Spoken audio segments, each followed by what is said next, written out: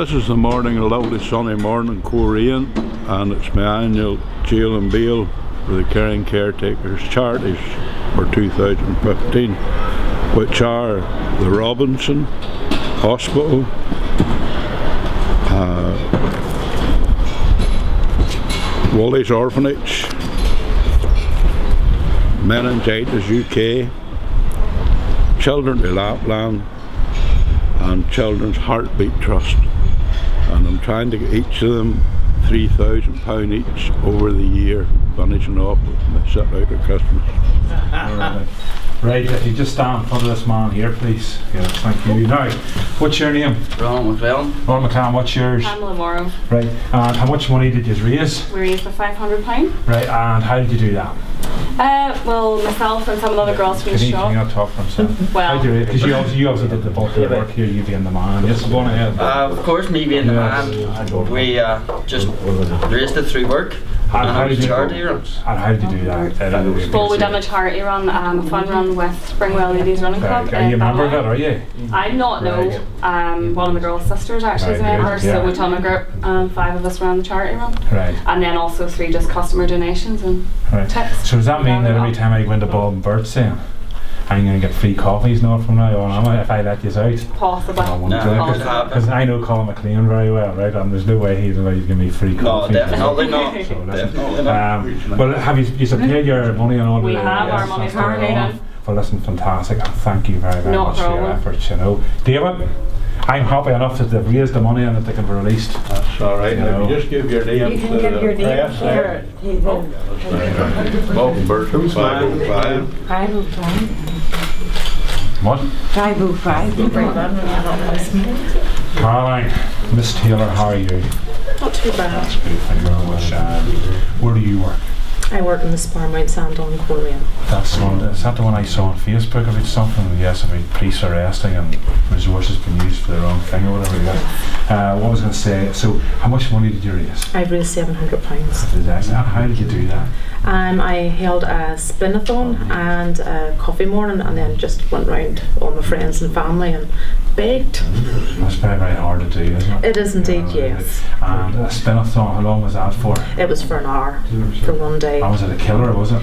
It was, yes. My friend had done the class, so yes, it was And where tough. did you hold that in? We held that in Route to Fitness in Ballymoney. Very good. And seven hundred pounds. Yes. Right, so it's now all over. That's great. it is. It's fantastic. Thank you. So you're now going to relax now. You don't have to ask anybody. When did you get the last of the money in? Uh, this morning. Yeah, well, that's not fantastic. Everybody has a Yes. fantastic effort. Thank you. David, I'm more than happy that the bail has been raised. You know, and if, as long as you're happy with at least this person, Maybe she'll turn up someday at the Coleraine match. well, it's the next one I'm going to hammer about Coleraine. So, you know, but listen, thank you very, very Thank much. you. Karen. I think you need to speak Uh, this Colin? one. Look guilty, look guilty. Right, he's obviously, I, I was dying to get the chance to send this man back, but he's not smiling. Colin, uh, this is the one I've been particularly looking forward to, so you know. So, uh, the first thing is, how much money did you raise? Five hundred and eleven pound. Right, and how did you do that, Colin? Pounded people. How and, and just going around and asking, asking, asking. And I saw you on Facebook and all the rest. Mhm. Did you do any sponsored events or anything, No. or just purely asking people? Right, so very, you're probably a very popular chap then, are you? People are going to see the back of this, are they? Probably, yeah. Yes, I right. can imagine so. Right, Colin. Right, now I, I, I've been thinking long and hard about this, right? Okay, now you raised five hundred eleven pounds, right? How would you like to take that five hundred eleven pounds home with you? no, I want to give it to David. Right, Because I tell you, eh, eh, all you have to do, right, if you say, right, and you say in front of these people all around here, right, that Ronnie McFall is the greatest manager in the last 30 years and Portadown is the most fantastic team in the Yeah. Irish League ever. Do you honestly think I'm going well, to say that? the choice, the choice is yours. The there, money's Davies all day. Fair enough, right? Well, Colin, Make what sure I you can say, that up now. yes, yes, is thank you very, very much for your efforts, big man. That's that's down number 511. And David, the bail has been raised, and if you're happy enough, I'll release A this good man. Coleraine man will, will, will look after him. Let him go. Yeah. Thank you you. very, very much, Colin. Go there and these boys and take a photograph of you. McClarty. Yeah. Alison. Right, right. Where's that?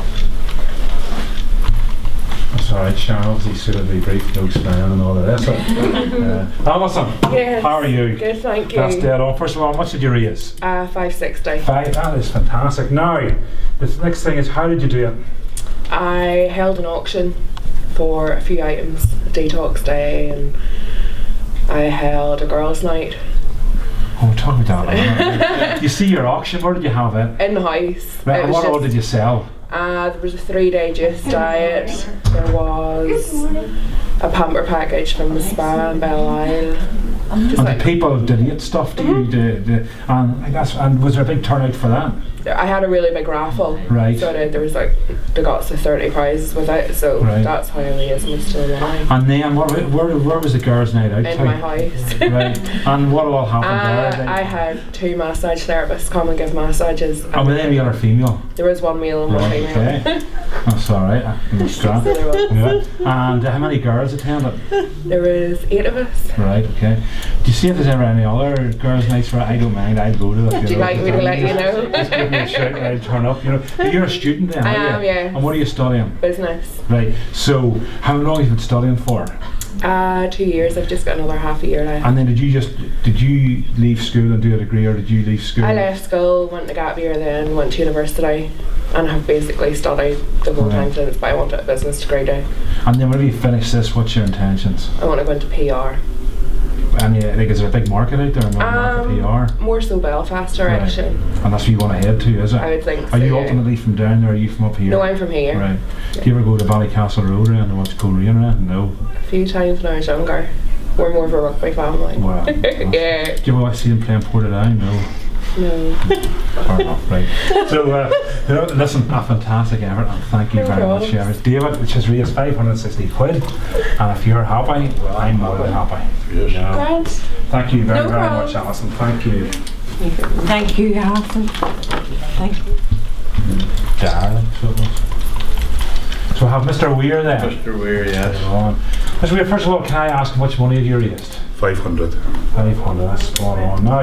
Weir, it's quite obvious that you're not from these uh, sunny climes. No.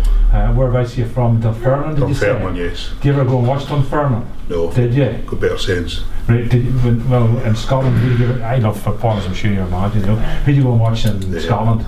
Rangers. Right, right, well, that's a, that's, a, that's a mark against them already, right? Um, I'm only joking, I'm only. Um, then what brought you over to, the, to these shores? Uh, I've met my wife over here. And and is she from here? She's from here.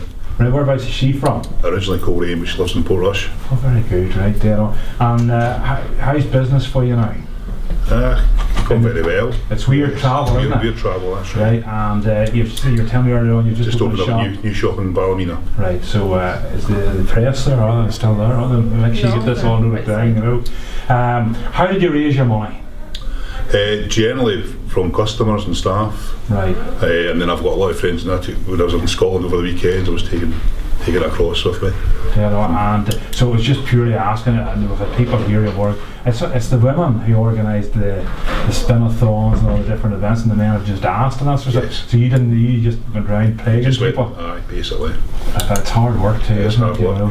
But it's worth Um, You, what about, are you watching the match today? Hopefully. Right. Who do you think's going to win? Do you think you'll beat the Scotland, Republicans? Right. And, uh, well, who knows? You know, it's, it's on at, what time's it on at? Five The coverage starts at four, but I don't know what time. And what time's the Northern Ireland game on at then? Oh, it's on, not At quarter the to evening. That's the, that's the only match that we're really interested in, isn't it? Do you have, raised your money? Yes. Well done, and it's very, very good effort, and thank you very, very much. Mr. Boyle, if you're happy, I'm happy, you know, so thank you very, very much. If you just give this lady your details, right, Mr. Robinson, uh, if you just come here and stand in front of the table. here, there, learned there's my way, That's Judge. good. It's maybe not a position you're used to being uh, uh, taking up in front of a judge, you know. But uh, as I say, the last murder of the Valley, Absolutely. right? And how did that go?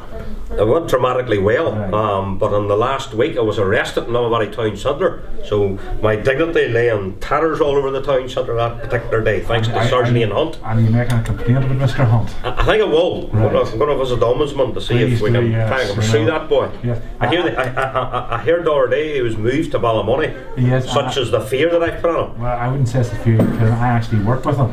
Oh, oh right. So I see right. him, and I pass on your I pass on your comments right. whenever I'm speaking to him on Monday morning. So well, you know, um, I believe then you had uh, some good news over the last couple of weeks from to your father. Aye, this morning um, we get word that um, my father was awarded an MBE. And what was that for? It was for services to political life and no services to public life and politics. Very good. And was he? Uh, has he been a politician or a councillor or whatever all his? Thirty time, years. was it? Thirty Uh, years. Councillor then MLA. Oh right, yeah, all Mm. right. And is that in the same party as yourself? Absolutely. Yeah, what was that? TUV or something? Uh, no, not Oh, quite. Yes, uh, I'm only Not quite. I'm only being facetious. Maybe, maybe close. Yes, very good. Mr. Robinson, how much money did you raise then? I think it was 568. I think it is. And how did you go about doing that? Um, begging, not stealing, Right, and good, borrowing. good to hear that. Mhm. And uh, we've noticed here that all the ladies and all who were involved, they organised events like spinathons and all that sort of stuff. Was yours just pure begging? Mine was just pure begging. Right. Mhm. And were you very popular as you were going out begging and asking questions? it wasn't. wasn't It wasn't because the circles that I was mixing and tended to be events that they were asking for money at, Right, yes. and there was me coming along and asking for additional money for me. And uh, was your, uh, how would you say, your party colleagues, uh, were they, uh, where's the press now? Were they forthcoming in their donations Well, they were. well? They were very kind. Why? hmm They were very kind. Uh, yeah, well, that's good. Yes, that- I'm glad that I'm very supportive. Aye, very We'll- We'll supportive. just leave it at that. All Mhm, right. very That's supportive. Fantastic. Um, now, I, I, because of this man here and the circumstance in the background, I was very loath to let him out until we've actually got the money in our hands. Uh, has the money been forthcoming? Has it? Not yet. Right. Well, Mr. Boyd, I'm happy enough to let him go, but on the same time, if the money's not forthcoming, we'll have to put him back into the sales until we get it. Well, we're forthcoming. I can assure you. I have an important event tonight that I need to get it will to. be forthcoming, It or will be. have we got it here? Oh, it's here. hmm And where is it? Um, this woman here in the bright red palm has it in her hand. And is she prepared to stand over She's it now? prepared to stand over. Could you bring it forward, please? certainly can. Is this your daughter here then? No, not this girl here. This my- why this my daughter here? We're very young looking family, Yes, so I right, right. Yes, There we have that some is real money, magic. That's great. Uh, As long as we've got that, I'm more than happy.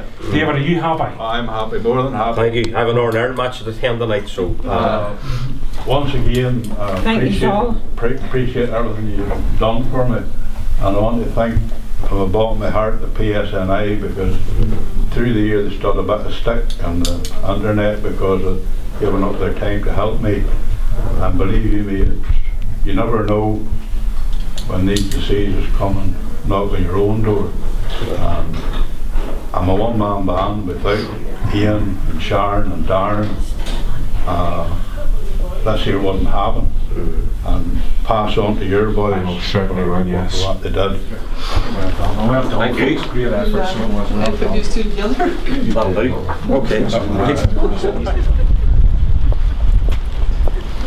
I've no wee portable jail, let's